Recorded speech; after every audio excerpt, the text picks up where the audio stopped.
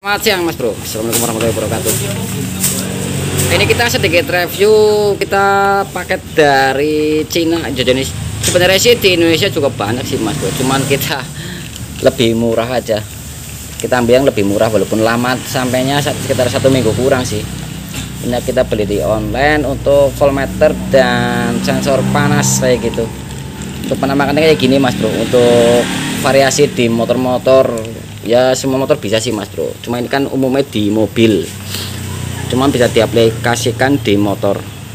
Kalau segi bentuk sih lebih gede terus lebih gede. Jadi kalau selera terkembali ke selera teman-teman semua. Kalau senang yang ramping mending ya beli yang voltmeter yang 3 in 1 atau yang kecil itu kan ada banyak.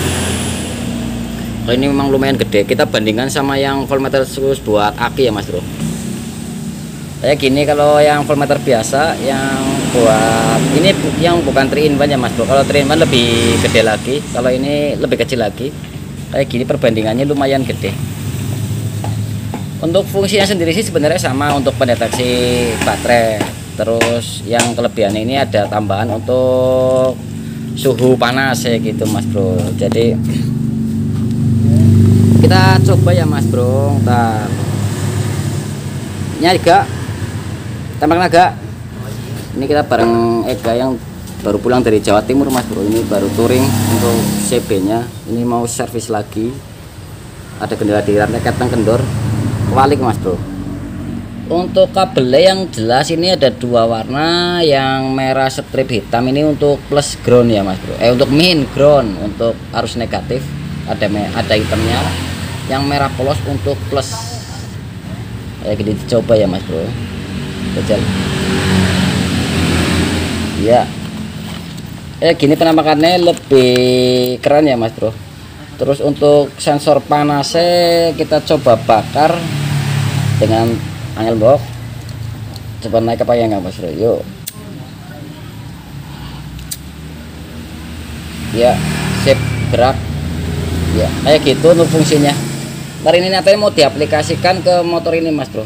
Los lepas diaplikasikan ke motor. Ya ini sih motor harian juga standar. Cuman ini kita bikin untuk variasi waduh. Apa kan background yang banyak oli-oli bekas ya mas bro? Ini tembakan ke motor-motor ke sana drag baik banget ya mas bro? Motor motor kita sebenarnya motor kita sih motor kita pribadi